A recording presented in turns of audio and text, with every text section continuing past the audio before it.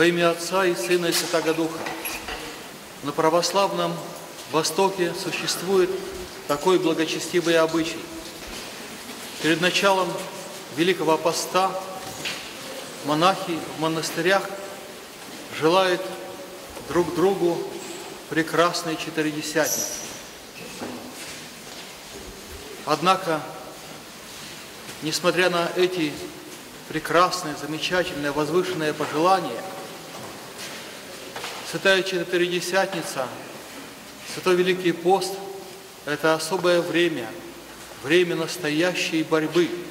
Пост может только тогда стать прекрасным, когда у него будут прекрасные плоды. А прекрасные плоды может, могут появиться только в том случае, если весь пост наполнен борьбой за наши души. Эта борьба жестокая, борьба неустанная.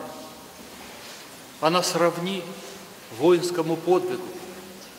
В этой связи вспоминаю рассказ одного дипломата российского, который поведал мне о словах представителя одной небольшой европейской страны. Этот человек сказал российскому дипломату, вы, русские люди, странные, вы сражаетесь до последнего патрона, до последней капли крови. У нас же другая задача – сдаться до первого выстрела. Вот нередко мы, имея такую славную историю, имея таких предков, имея таких воинов, сильных на поле брани, на поле духовной брани, мы часто готовы сдаться до первого выстрела – как только начинаются трудности поста, как только мы вступаем в этот период, у нас уже есть готовность сдаться и в отношении воздержания в пище, и в отношении прочих областей нашей жизни.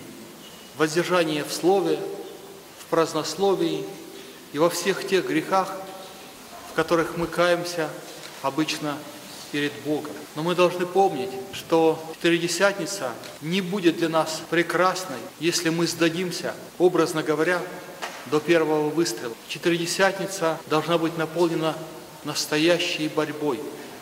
И эта борьба, борьба трудная, борьба беспощадная, борьба самоотверженная. И мы должны быть готовы к этой борьбе. Ибо если этой борьбы не будет, не будет и прекрасной Пасхи. В одном из псалмов есть такие слова, сеющие слезами, радостью пожнут. Вот так и наш пост – это время воздержания, время борьбы, время слез и подвигов. И дай Бог, чтобы мы выдержали этот пост с минимальными потерями, с минимальными трудностями, с минимальными искушениями.